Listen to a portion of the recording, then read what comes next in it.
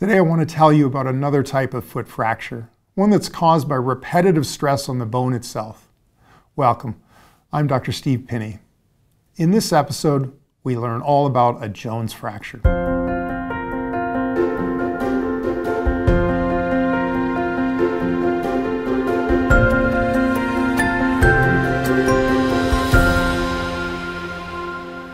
Jones fracture is a relatively uncommon condition that has a tendency to occur due to repetitive stress on the outside part of the foot, specifically the base of the fifth metatarsal. This condition is named after a 19th century orthopedic surgeon, considered to be the father of modern orthopedics, Sir Robert Jones. The Jones fracture needs to be differentiated from a fifth metatarsal base avulsion fracture, which is a much more common injury. Most fifth metatarsal fractures are not Jones fractures. So, what are the symptoms of a Jones fracture? Pain. And this can occur suddenly following a minor or moderate trauma. In the case of a Jones fracture, there is often already some baseline discomfort in the area due to microscopic fracturing of the bone before it breaks completely. An increase in activity level, for example, a new training program, can become the straw that breaks the camel's back, so to speak. The patient can feel the sudden pain of the fracture. So, why does a Jones fracture occur? As I mentioned earlier, these types of fractures are caused by repetitive stresses on the bone.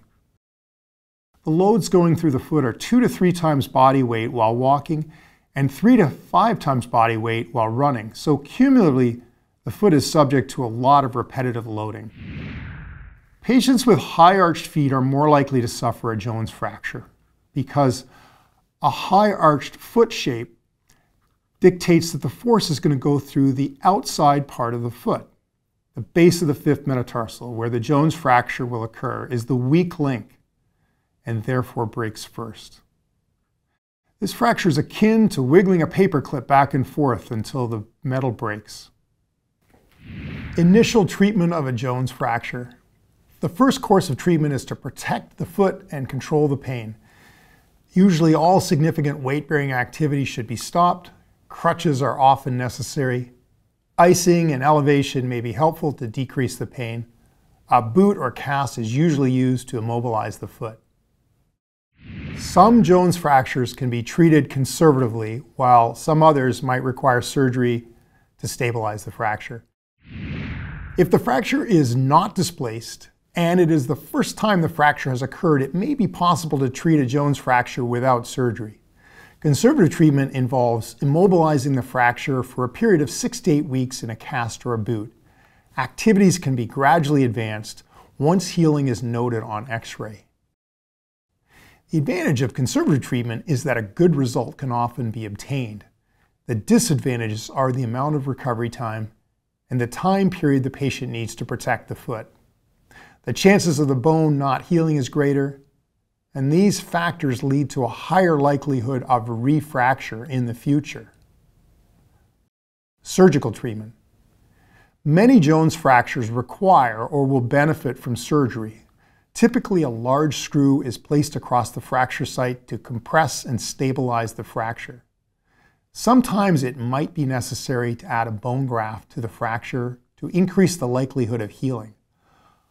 In some patients with Jones fractures, especially if the fracture has recurred, it may be necessary to perform additional surgery to change the shape of the foot so that the load during walking is not concentrated over the outside part of the foot.